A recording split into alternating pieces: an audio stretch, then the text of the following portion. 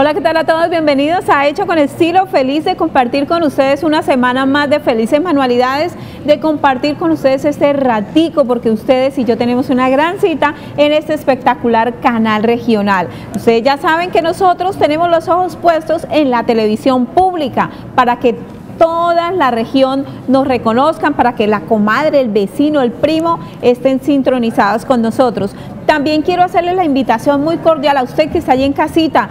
Reúnase con sus vecinos, miren a ver qué decoración van a hacer a esta espectacular cuadra que tenemos. Todos tenemos una cuadra divina y junto con nuestros vecinos la vamos a organizar. Vamos a hacer una decoración con materiales reciclados y ¿qué deben hacer? Entrar a la página www.canaltro.com. Ahí están las bases del concurso porque queridos televidentes, vamos a rumbear vamos a tener orquesta, vamos, eso habrá francachela, habrá comilona y vamos a estar muy contentos. Así es que los invito personalmente para que pasen por nuestra página en internet www.canaltro.com, dejen sus datos porque a veces los dejan que en la foto de Laurita, que a veces lo dejan en el café de la mañana, no, www.canaltro.com, ahí están las bases del concurso, pican donde dice Navitro y automáticamente ustedes saben qué hacer. Muy bien, yo les comenté que nosotros hacemos proyectos navideños, pero que vamos a empezar con este arbolito de Navidad. ¿Cuáles? Los estrenos que ya estamos listas y preparadas para hacerlos. ¿Con quién más? Con la especialista Esther Carvajal, a quien le damos la bienvenida. Muy buenos días, Esther. Muy buenos días para todos. Feliz como cada vez que vengo al canal TRO a compartir con ustedes esta mañana deliciosa. Vamos a hacer hoy un proyecto muy sencillo, como para que ustedes lo hagan así de facilito.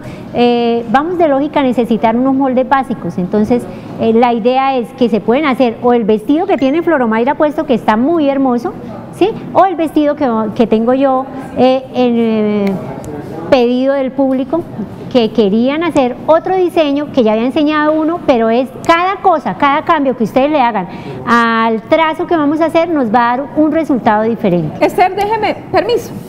Déjeme decirle, con este papelito, con este papelito ustedes pueden hacer maravillas. Todas las maravillas que yo he hecho en todos estos 365 años y más. Bueno, yo digo 365 los que llevamos corridos del año, pero llevo cualquier cantidad de días trabajando con este papelito, ¿qué deben hacer? Mire, solamente es copiar este molde o lo pueden eh, hacer de cualquier otra manera, ustedes son astutas y con esto le vamos a sacar partido a lo que vamos a hacer. Se hacen, queridos televidentes, maravillas. Así es que quería que vieran y se animaran, Esther. Y este papelito es un tesoro. Para mí, este papelito es un tesoro, empezando porque con él me he visto. Y después porque con él vivo, o sea, yo vivo de estos papeles. Con él me he visto, con él me mantengo. Con él me mantengo, con él me mantengo, con él mejor dicho. Y yo con él tiro pinta. Y tiro pinta, exacto. bien. Y yo con él voy a tirar pinta para la rumba de Tro. No, y es que Claro, Esther, usted con tremenda rumba. invitada. Eso, a veces dices que no tenemos parejo. Ay, doña Mayra, cómo rumbió el viernes y sin parejo, querido excelente, porque mi parejito estaba viajando. Pero eso no lo podemos detener. Vamos a Navitro, vamos a disfrutar. ¿Qué deben hacer, Esther? En su cuadra debe unir sus vecinos, organizarse, ver la decoración. Eso sí, hay algo importante que se me había escapado contarles deben tener algo alusivo a nuestro canal TRO bien sea el logo del TRO, bien sea la foto de la señora Omaira, la foto de Vanessa, la foto de Laura, cualquier em, programa del canal. Eso sí, es un requisito muy importante. Va van a participar, van a ganar, vamos a llevar orquestas, vamos a estar allá en vivo disfrutando, comiendo natilla, buñuelos, bueno, de todo. Así es que los esperamos, Esther, y que usted también reúna a su cuadra, ¿no? No, si no la reúno me voy yo sola. Ah, y la organiza. Bien, eh, quería comentarles una cosita. Eh, Esther viene luciendo eh, la blusa que hicimos la vez anterior. Una blusa sensual, más no lejana a la inocencia. ¿Y provocativa? Uy, Esther, mire, mire. ¿Para dónde? Mire, mire. Eh, muestro, muestro, pero no muestro. No, sí, no, porque se el rating se nos va. Mire la espalda tan bonita, Es una abertura muy sutil, ¿sí? Muy sutil, especialmente para las señoras de estos 28 años que no debemos mostrar nada sino un poquitico de piel. Entonces es para que ustedes se animen a hacer los proyectos con estas manos que han labrado la tierra, así de fácil y de sencillo como nos va a decir Esther. Espectacular. La señora que se ganó el taller se fue feliz. Feliz. Dijo, me voy a hacer un vestido con esto, me voy a sacar el vestido largo, dijo. Ah, feliz se fue. Es que aprendieron las mañas de la señora Sí, señora. Bueno, iniciamos, programa. Perfecto. Bueno, para iniciar vamos a necesitar, en este caso voy a hacer un vestido. Eh, vamos a necesitar el largo del vestido, el largo deseado, que lo voy a tomar desde donde termina el cuello hasta el largo deseado, pasando por la parte más sobresaliente del busto. Voy a medir ese largo y voy a cortar, voy a comprar ese largo más unos 30 centímetros porque no sé qué drapeado quiere hacer cada cliente. Más o menos 30 centímetros de, drapeado es suficiente para el drapeado. Vamos a coger en este caso es el molde de la blusa licrada eh, de sisa y lo voy a calcar sobre la tela ya doblada, voy a cortar primero la espalda y la espalda la voy a calcar tal y como está mi molde, como cargo, como mi molde es de blusa más no de vestido, en este caso el vestido va a ir completamente pegado en la parte inferior, o sea en la pierna, en las caderas va a ir pegado, simplemente prolongo en, en línea recta el largo de mi vestido y calco el molde tal y como está. En la parte superior, si ustedes quieren hacer un escote bandeja, entonces lo que voy a hacer es que voy a dejar de la sisa hacia el cuello en el hombro más o menos unos 3 centímetros. Menos no debo dejar, ¿por qué? Porque un centímetro se va a comer de costura eh, para el dobladillo en la sisa o para pegar la manga y un centímetro o uno y medio sobre el dobladillo también del escote. En este caso dejé más o menos tres centímetros y como me queda caído no lo puedo lanzar hacia el, hacia el escote de la espalda en el centro, sino lo bajo más o menos un centímetro, centímetro y medio y me queda una nueva curva. En este caso sería para un escote bandeja. Si voy a hacer el delantero, si voy a trabajar el delantero, el delantero lo voy a trabajar de la misma manera, les estoy enseñando, vea, hoy se fue con ñapa. Eh, de, ¿Cómo es? La blusa que voy a enseñar y fuera de eso les voy a explicar el del escote de bandeja aprovechando acá. Los moldes traen acá una altura de un escote, que es un escote alto y un escote profundo. En el escote alto, que es el que me va a dar más o menos donde termina el cuello, de ahí voy a sacar una semicurva a la profundidad del escote, eh, al hombro, los 3 centímetros que dejé en el hombro y ya me queda el molde para el, para el delantero. Igual a la espalda, solo cambia el escote para el, para el escote para el, la blusa escote bandeja. Esto funciona solamente para las telas licradas. Licradas. Una cosa importante, ya que menciona, eh, a veces me llegan señoras eh, eh, con, telas que no son adecuadas. O sea, no, ya, ya, ay, pero entonces yo para qué quiero ese molde y le tengo que hacer arreglos. los requisitos que deben tener este tipo de tela para estos moldes que yo estoy trabajando son que estire a lo ancho, mire, mire lo que estira, estira a lo ancho, mire, pero también debe estirar a lo largo, mire, ¿sí? Si la tela solo me estira lo ancho, ya el molde yo le tengo que hacer le tengo que hacer arreglos y si no me estira lo ancho sí que menos, peor porque ya no me va a dar, ya no me van a cuadrar las alturas de los del busto, ya no voy a poder hacer un corte acá con las medidas que yo trabajo porque no tiene las propiedades necesarias ese tipo de telas. Okay. Bueno, ahora nos vamos con el delantero.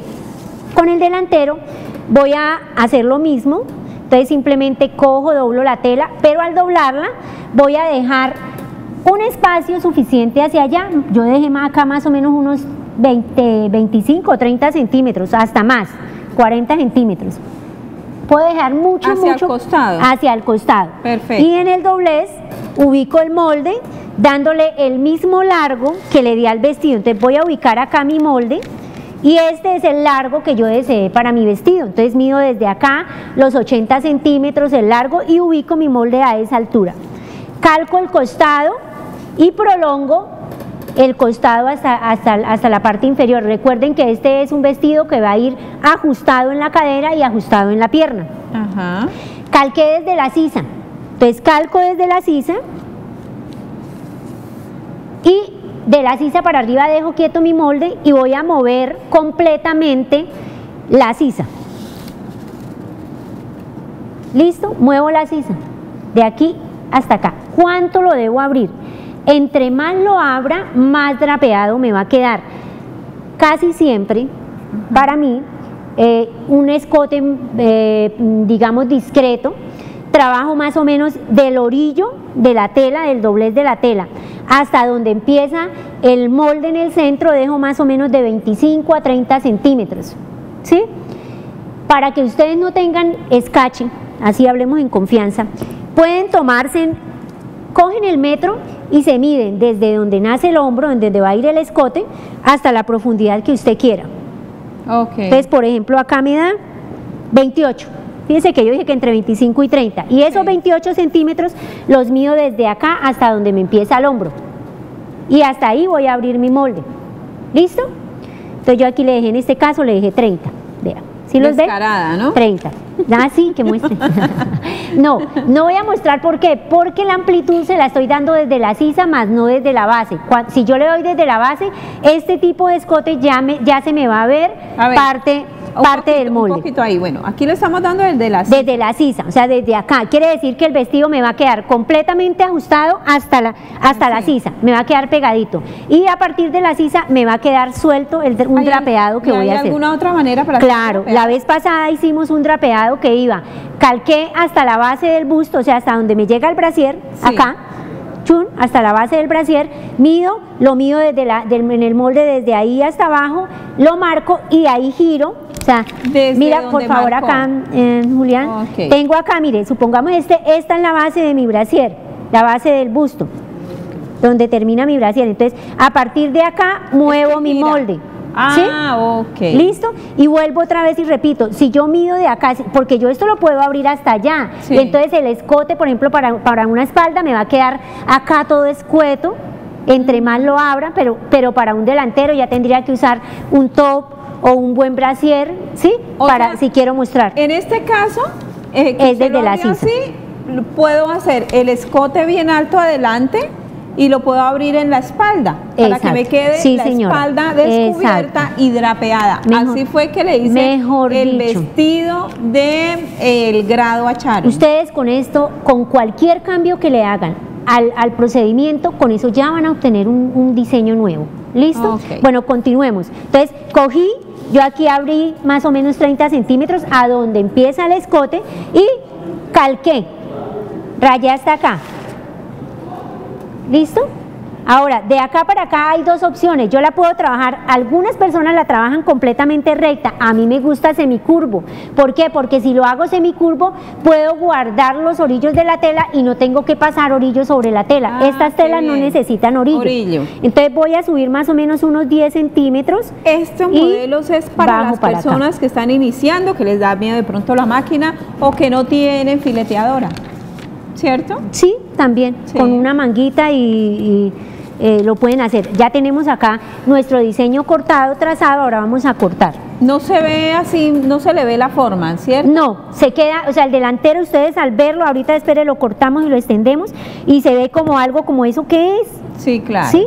No se le ve como, como que solo se le ve el costado, más en la parte de arriba eh, no, se, no se ve muy claro. Bueno, mientras ella hace ese corte por donde lo trazó, les cuento que Navitro quiere obsequiarle a todos ustedes pues una fiesta espectacular. El canal Tro pues ha iniciado este proyecto, ya lleva varios años, donde ¿qué deben hacer? Em, reunirse, mirar qué decoración va a hacer y, e inscribirse a, tra- a través de www.canaltro.com están las bases del concurso para que todos ustedes participen. ¿Que quién quiere fiesta? Pues yo, levanten la mano todos y a organizar su cuadra. www.canaltro.com. Yo me voy a un corte de mensajes institucionales y ya volvemos con más de Hecho con Estilo. Somos Pro, nuestra región, nuestra televisión.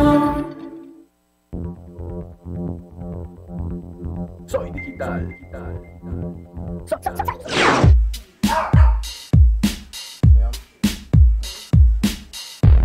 Soy Jim Pluk, soy ilustrador, estudié diseño gráfico, pero siempre me he enfocado más hacia las artes plásticas. He publicado cuatro libros. El primero se llama Pecas, que fue publicado por la editorial independiente Robot. El segundo fue Rayito, publicado por la Universidad de Caldas. El tercero fue un cómic extenso eh, que se llama Josefina y lo autopubliqué. Y el cuarto se llama Tumaco, que, cuyo guion fue escrito por Oscar Pantoja y pronto será publicado por Reina Arano.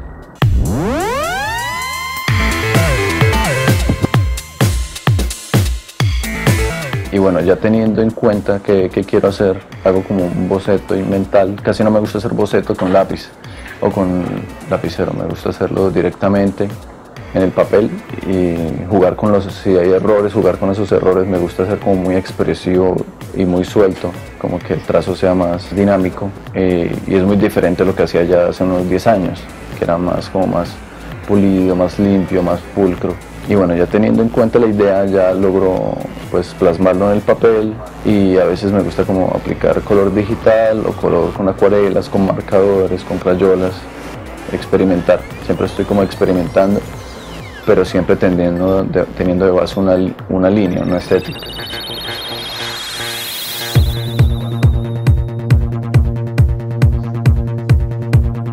He participado en exposiciones colectivas en Alemania, en México, en Hong Kong, en Argentina, en diferentes países. He hecho individuales en, en Colombia, en Argentina y pues he participado en el Festival Entre Viñetas que es un festival de cómic internacional que se realiza, acá en Colombia.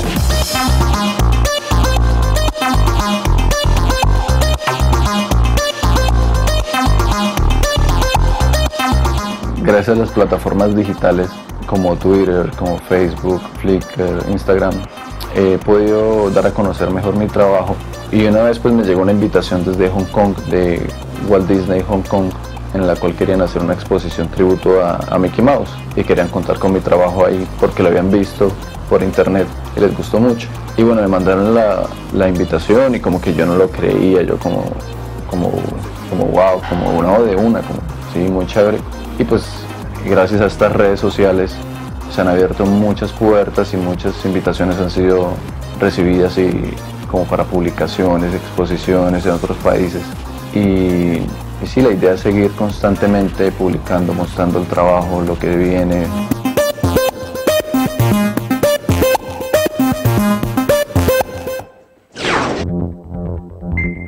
Soy digital.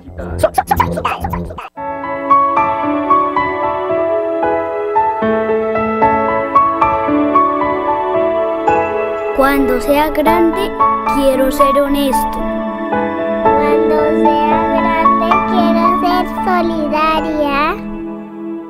Cuando yo sea grande quiero ser responsable.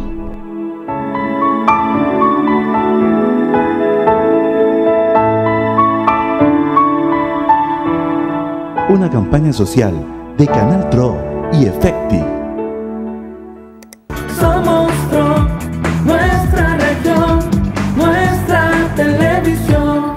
Muy bien, nosotros seguimos en Hecho con Estilo y ustedes ya saben que Esther Carvajal también hace muñecos navideños como los que tengo en mi espalda, que está ahí todo, el pesebre, los eh, Reyes Magos, está la Virgen María y todo en trapo, así es que vea qué lindos que se ven, ahí está el nacimiento, los Reyes Magos, eso hace hasta gaticos hizo, hasta gaticos en este pesebre hay la idea es que ustedes pues trabajen en casa con lo que tengan y hoy les estamos invitando para que ustedes también hagan sus estrenos navideños, porque así como eh, nosotras estrenamos, usted también tiene todo el derecho a estrenar el lunes, martes, miércoles, jueves, viernes, todos los días de la semana. Muy bien, Esther, ¿cómo vamos? Vamos a, a explicar acá el pegue.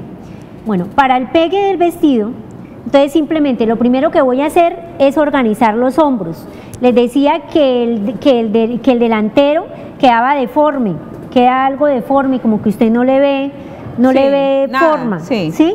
Entonces, lo primero que vamos a hacer es unir el hombro de la sisa hacia, hacia arriba hasta donde me dé la espalda.